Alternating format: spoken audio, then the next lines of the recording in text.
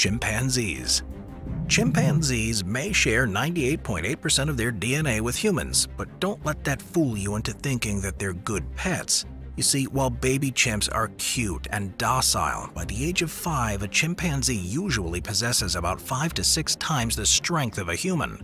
And as it begins to become sexually mature, a chimp generally becomes very aggressive and territorial.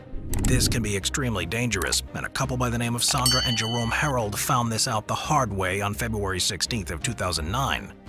That's because it was on this day that their friend Charla Nash was brutally attacked by their pet chimpanzee Travis.